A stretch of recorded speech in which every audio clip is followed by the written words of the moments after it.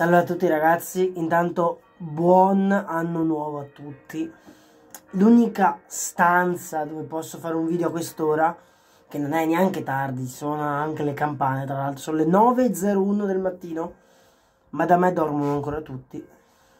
E quindi ho detto, eh, devo farla qua, per forza, sperando che non ci sia troppi rumori da parte delle campane. Primo video dell'anno, oggi mi raccomando state sintonizzati sul canale perché ho tanti video da portare oggi. Fantacalcio. Fantacalcio dell'ultima giornata. Ero ancora contro il mio carissimo amico Mustang. Stavolta casa mia. Ma il risultato non cambia. Lui sfortunato e io vincente. Eh, ta -na -na -na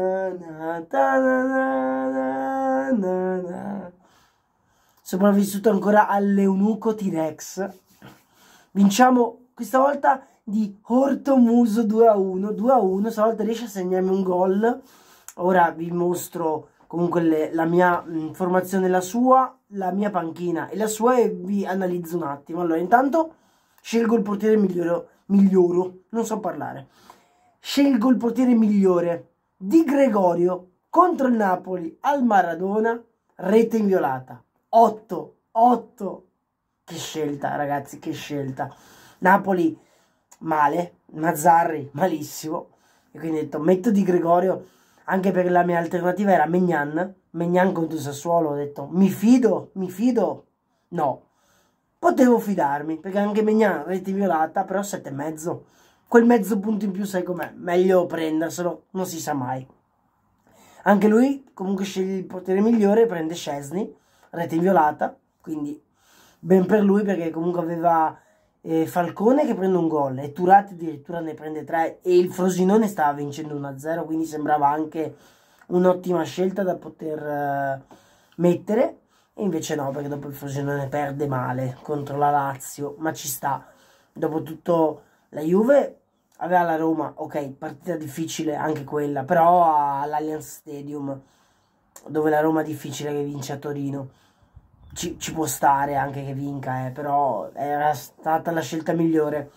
In più so che il Mustang lo mette per gufarlo, sperando che magari la Juve prenda gol, vista la sua fede nerazzurra. E invece stavolta gli è andata male per quel lato. Ma gli va male, sempre parlando della Juve, perché lui comunque a Kostic che a colpo sicuro stava per segnare, ma Indica ci mette la faccia e evita il gol del serbo e quindi evita un gol in più al Mustang. E vi dico, un gol poteva fare la differenza perché secondo me si avvicinava al punteggio per pareggiare. E invece no, non, non arriva il gol di Kostic. Arriva sì il gol di Chiesa che lui ha titolare, ma viene annullato per un fuorigioco perché comunque è un tocco se non mi sbaglio Pellegrini che serve Chiesa, non sarebbe fuori gioco in teoria, però è un'autogiocata perché tipo il pallone viene deviato da un altro compagno, quindi involontariamente arriva a Chiesa, quindi l'hanno annullato per fuori gioco, meno male.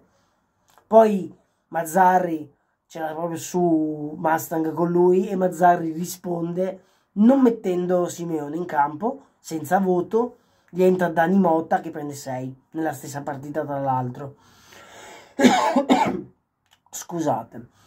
E in più Luvumbo 6,5 bel voto però niente di che. Cagliari e Empoli se non mi sbaglio era Cagliari. Comunque quella partita lì dove 0-0 quindi Luvumbo non gli fa bonus. Gli fa bonus qualcuno? Ora non ricordo ma vedrete comunque tutto qui c'è per fortuna l'Inter che pareggia, quindi ci sono anche i suoi giocatori dell'Inter che non vanno benissimo, Mkhitaryan prende anche il giallo, quindi tutto sommato bene.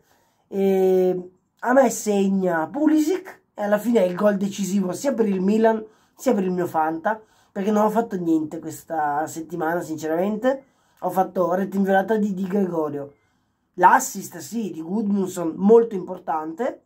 E il gol di Pulisic Purtroppo ho lasciato Pereira in panchina, ma venitemi voi, vi sfido a dirmi che l'Udinese batteva 3-0 il Bologna con un gol di Pereira che poi viene anche ammonito, però ho preferito mettere un Guendouzi contro il Frosinone, eh, vabbè. Pereira è già la seconda volta che mi sfugge il suo gol. E va bene così, dai, 2 a 1. Poi termina anche la Coppa del Celiaco. Il più celiaco della Lega è il Greg. Io arrivo secondo, arrivo secondo e va bene così. È il meglio che potevo, io l'ho, messo in campo, poi ci va anche di fortuna, devi fare più punti possibili, non è sempre così scontato, dipende anche dalle scelte, dipende dai giocatori dalle giornate. Io sono contento, ho fatto del mio meglio, poi c'è chi pensa che arrivare ai secondi sia brutto perché è il primo dei perdenti. Io sì, amo vincere, però cerco di piazzarmi sempre il meglio possibile. Vediamo anche la classifica, quella della Lega. Lasciate perdere che c'è il Ciliero che si è messo 10 punti in più così per protesta ed è primo, ma è una cosa falsa. Lui è ovviamente a 20 punti.